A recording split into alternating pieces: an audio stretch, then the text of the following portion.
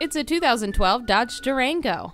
With this reliable Durango, you'll enjoy the convenience of cruise control, third row bench seating, and dual zone climate control. Plus, it has the safety and protection of multiple airbags, a low tire pressure warning, and a Sentry key theft deterrent system.